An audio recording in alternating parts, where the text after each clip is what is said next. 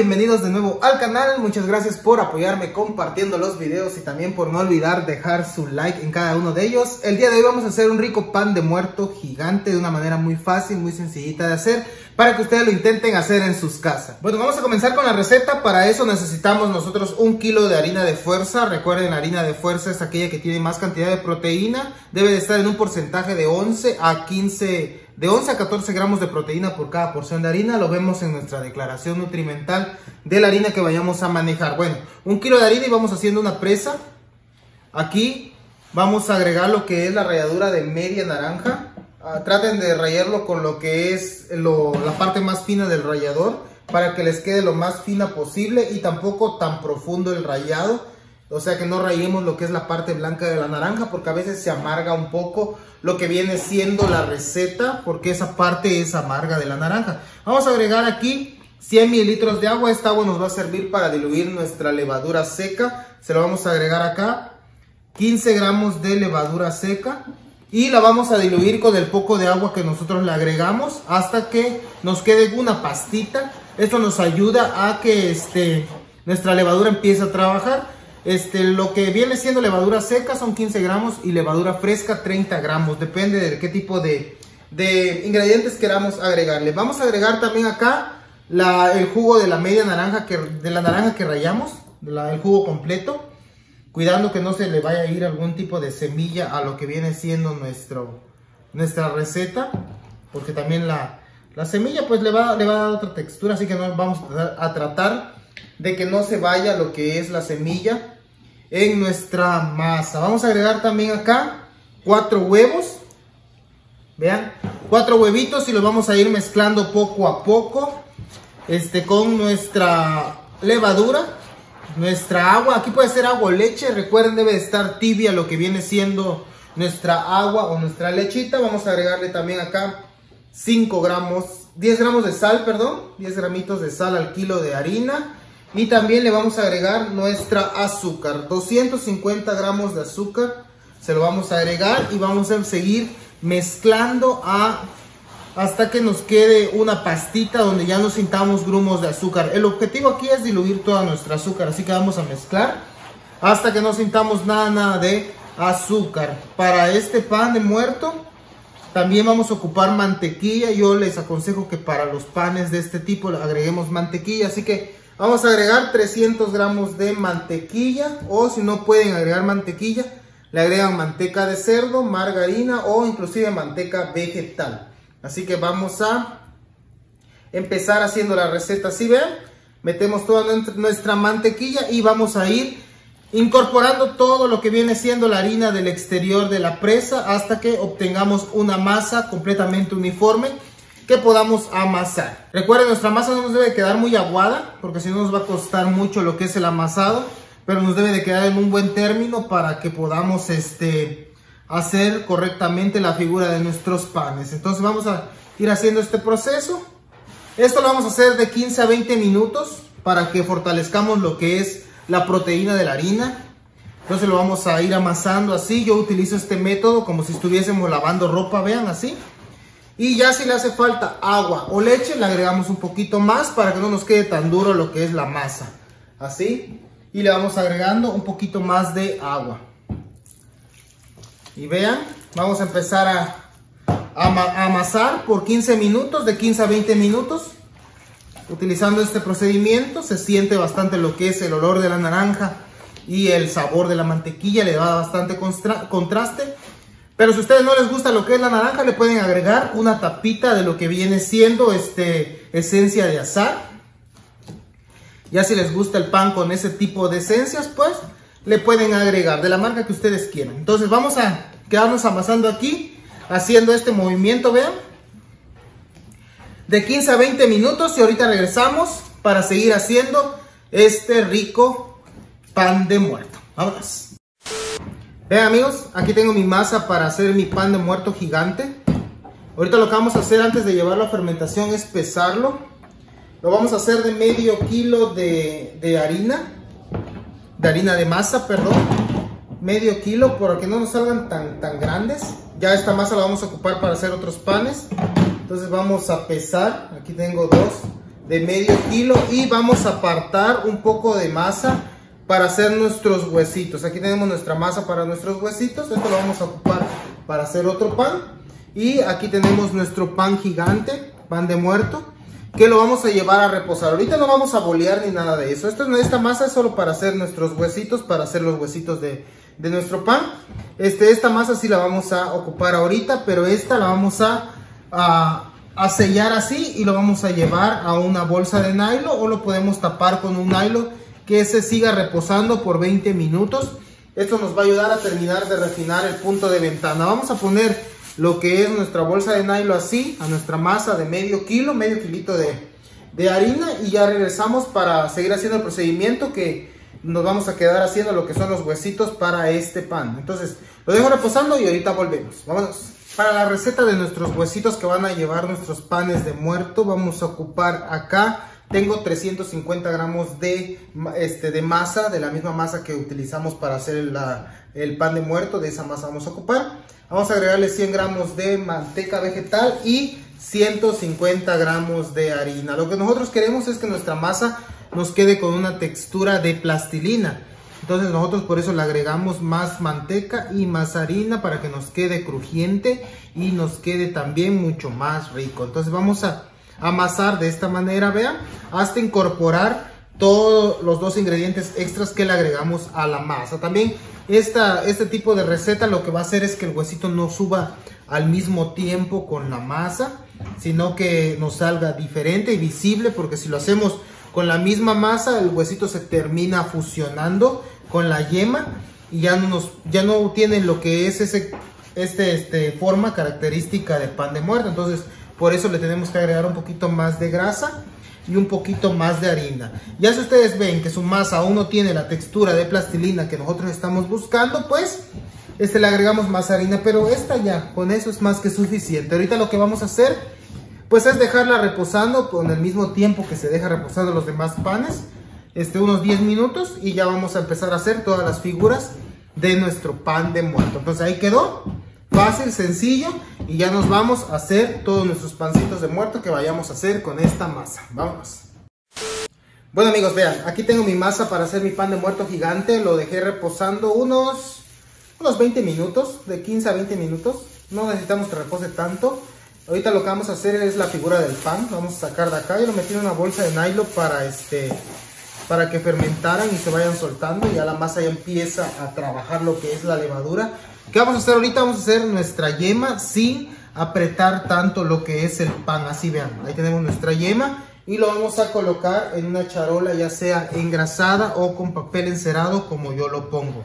Bueno, ahorita lo que vamos a hacer a este pan de muerto yo le agrego este tres huesos grandes, tres huesos por pan de muerto y lo que viene siendo la bolita característica. Vean, aquí tenemos nuestra yema agarramos un poco de aceite y se lo untamos en la parte de arriba dando cuerpo. Recuerden, dar cuerpo es extender la masa, que no quede bolita, sino que se vaya haciendo hacia los lados y ahí vamos a ir agarrando lo que es el tamaño de lo que viene siendo nuestro pan. Así lo vamos a ir haciendo, que agarre un buen volumen y ya vamos a empezar a hacer los huesitos. Los, para los huesitos pues ya les enseñé a hacer la masa de los huesitos aquí Vamos a agarrar aproximadamente unos 50 gramos por este por, por huesito.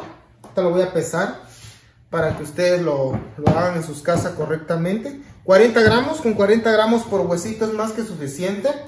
Entonces vamos a estirar primero y con ayuda de nuestros dedos vamos a ir haciendo la forma característica del huesito para que nos quede este, adecuadamente. Lo vamos a hacer de un tamaño aproximado como de unos 15 15 centímetros, ¿no? Para el huesito nos vamos a ayudar con harina porque el aceite no deja que se forme correctamente. Entonces con harina es mucho más fácil, así hacemos el tamaño y ya con nuestros dedos vamos a dando, le vamos dando la forma, así vean, así. Y ahí tenemos un huesito, este es un huesito, que esto es lo que va a llevar nuestro pan de muerto, que lo vamos a poner al lado del pan, así, al lado. No lo vamos a poner directamente, lo vamos a poner al ladito y ahí que se fermente nuestro huesito. Vamos a hacer otro porque son tres huesos por pan. Entonces vamos a estirar y le vamos a ir dando la forma. Ya ustedes se van a ir adaptando. Lo ponemos directamente porque este el pan se revienta, entonces no lo vamos a poner directamente a lo que es el pan. Vamos a poner a un lado, que fermente al lado. Y ya ahorita les muestro, es muy sencillo el proceso de ponerlo en el pan. Entonces vamos a hacer nuestros huesitos, tres por, por, este, por pan. Yo nada más hice dos, este, medio kilo. Que ahora esta masa nos va, puede servir para hacer otros panes de muerto. Para hacer otro huesito de otros panes de muerto. Entonces vamos a hacer tres huesitos por pan, así. Vean, con, con, harina porque la harina nos ayuda bastante a hacer la forma. Así, hay que darle bastante forma. Y ahí tenemos nuestro hueso. Y dos bolitas, dos bolitas vamos a bolear. Y se lo vamos a poner igual al lado de nuestro pancito, así. Y ya el aceite que nosotros le agregamos al pan va a hacer que, este, que pegue todos los huesos que nosotros hicimos. Entonces me voy a acercar para que ustedes lo vean. Vean, aquí está listo nuestras dos yemas nuestros tres huesos que va a llevar uno, dos y tres. Yo le pongo tres y una bolita. Y ahí está, eso sería todo. Ahorita lo que vamos a hacer es llevarlo a fermentación en un lugar encerrado por aproximadamente una hora. Entonces lo llevo a fermentación y ahorita volvemos. Vámonos. Vean, ya estamos precalentando nuestro horno. Yo dejé fermentar este pan una hora, un pan gigante o pan grande de muerto. Muy sencillo, recuerden, este es un pan que lo hicimos hecho a mano, entonces el pan no alcanza a dar tanto volumen como cuando se hace a máquina. Además a mí me gusta que el pan quede un poco más compacto para que los sabores queden mucho más intensos en el pan y se sienta un pan mucho más pesado, mucho más artesanal. ¿Qué vamos a hacer ahorita? Si se dan cuenta aquí tenemos los que son los huesitos de nuestros panes, los vamos a levantar y los vamos a poner en su lugar como se deben de poner en lo que son estos panes. Vamos a ponerle este, dos cruzados y uno atravesado así. Aquí lo podemos este, ir acomodando de esta manera, vean. Y es un proceso muy sencillo, muy fácil. Presionamos el centro y aquí en el centro va a ir lo que es la bolita del pan y ya se, se, alcanza a ver, ya es un pan de muerto. Vamos a hacer el otro de la misma manera, tal cual hicimos este, vamos a hacer este que está acá.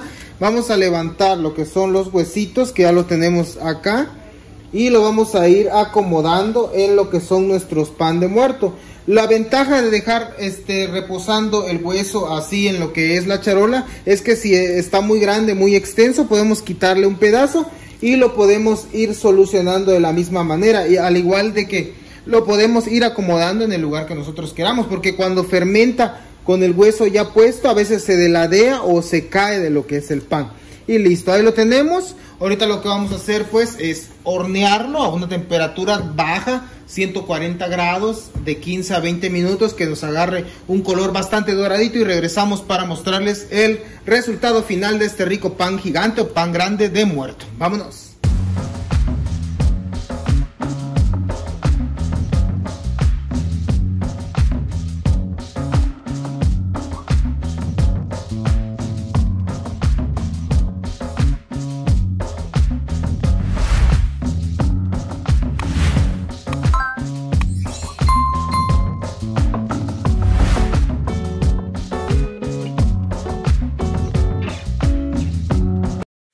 Vean amigos, aquí tenemos listo nuestro pan de muerto, lo horneamos a una temperatura de 140 grados de 15 a 20 minutos. Es un pan bastante grande, observen de qué tamaño nos queda. Es un poquito más grande de, la cuarta de mi mano, aproximadamente unos 25 centímetros de diámetro. Y ahorita lo que hacemos, bueno, en lo personal a mí me gusta que, este pan nos quede pesado, pero si se dan cuenta, a pesar de, quedar, de que este pan no desarrolla tanto, porque es un pan de medio kilo, recuerden, este es un pan de medio kilo, no desarrolló tanto, pero nos queda bastante rico este pan. Y nos queda bien cocidito de la parte de arriba y bien cocido de la parte de abajo. Este pan ya no se poncha. A veces algunos panes de este tamaño tienden a poncharse, o sea, se bajan un poco. Este ya no, porque nosotros no lo dejamos subir tanto. Entonces ahorita lo que hacemos este, es agregarle un poco de mantequilla derretida en la parte de arriba. Este, con ayuda de una brochita o como ustedes le, quieren agregar mantequilla. Así se dan cuenta la bolita de la parte de arriba le da una textura mucho más bonita. También le da otra, otro, pues la figura característica del pan de muerto es así, con este, con la bolita y queda bastante firme. Vean, a pesar de que le paso la brocha, esta no se mueve absolutamente nada. Pintamos uno y pintamos el otro con mantequilla derretida. Recuerden, este pan se hace con puritita mantequilla porque eso le da bastante sabor, le da bastante este, olor y recuerden que es un pan de temporada, entonces tenemos que hacerlo este, diferente a la mayoría de los panes que, este, que se hace en nuestra panadería, este, que siempre hacemos en, el transcurso del año. Vea, vamos a agregarle, ya que tenemos nuestra, este, nuestro pan decorado con mantequilla, pues les polvoreamos un poco de azúcar de esta manera. Recuerden, el azúcar le da una textura bastante artesanal, yo se lo agrego así, que nos quede con abundante azúcar, vean. Y este, pero ya ustedes se lo pueden agregar como quieran. También si gustan le pueden agregar azúcar con un poco de leche en polvo y nos queda bastante blanquito, nos da una, una textura mucho más artesanal. ¿Qué vamos a hacer ahorita? Vamos a cortar un pedazo para que ustedes vean cómo queda este pan. Y ya trajimos un cuchillo para cortar un pedazo de este pan. Vamos a cortarlo para que ustedes vean, se corta muy fácil. Y vean nada más, nuestra amiga de este pan es bastante compacta, aún está bastante caliente, pero se siente bastante, bastante rápido lo que es el olor de la naranja y el sabor de la mantequilla. Vean nada más qué ricura de pan. Es una amiga compacta, sí es compacta la amiga, pero que nos quedan los sabores muy, muy bien distribuidos. Pues ahí está amigos, un pan de muerto muy fácil, muy sencillo de hacer. Un pan de muerto gigante para esta fecha tan importante que se acerca donde celebramos a todos nuestros muertitos que ya no están con nosotros. Pues vean, espero les haya gustado este video. Ya saben, apóyenme compartiéndolo. Nos vemos en el próximo video. Pues bueno amigos, llegamos al final del video. Hicimos un rico pan de muerto gigante, pan de muerto grande para que ustedes lo quieran este, hacer ya sea en sus casas o en sus panaderías. Un pan que les puede servir para poner en el altar para esta celebración que se acerca, que ya está muy próxima. Espero les haya gustado el video. Recuerden, en la descripción les dejo lo que es la receta para hacer este rico pan y mi página de Facebook por si me quieren ir a seguir. Pues bueno gente, no se olviden, este es el canal del panadero con el pan. Nos vemos en el próximo video.